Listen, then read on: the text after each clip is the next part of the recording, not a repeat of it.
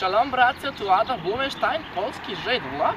E, Dzisiaj jestem w miasto i robię kampanię Krzysztof Bosiak e, na prezydent. Wiadomo, że nie wiadomo co z tej wybory będzie, ale no ważne, że trzeba robić kampanię, dać solidne e, 2 miliony głosy na Bosiak.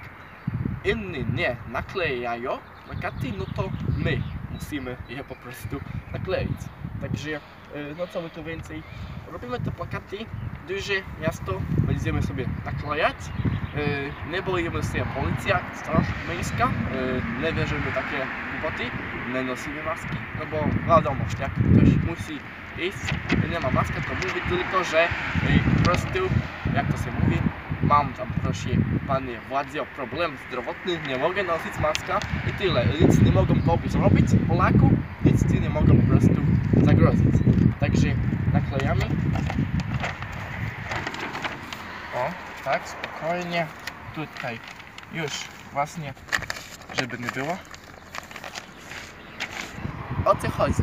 Idź na miasto, pisz do koordynatorzy różne, dobrze, zbiórki i bierz materiał i rób po prostu kampania. Swoje miasto, twoja wieś, naklejaj na Andrzeja Dudę, ile można. Andrzej Juda won do Izraela, a my tutaj będziemy mieli dumna, bogata Polska, naprzód Polska Krzysztof Bosiak. Także bracia, trzymajcie się z Bogiem, bądźcie zdrowi i nie bójcie się robić kampania, bo pamiętajcie, że nieważne jak to w demokracji, nieważne co mówią, ważne żeby e, było nazwisko i była twarz. Jak jest twarz i jest nazwisko, to będą ludzie głosować. Po prostu.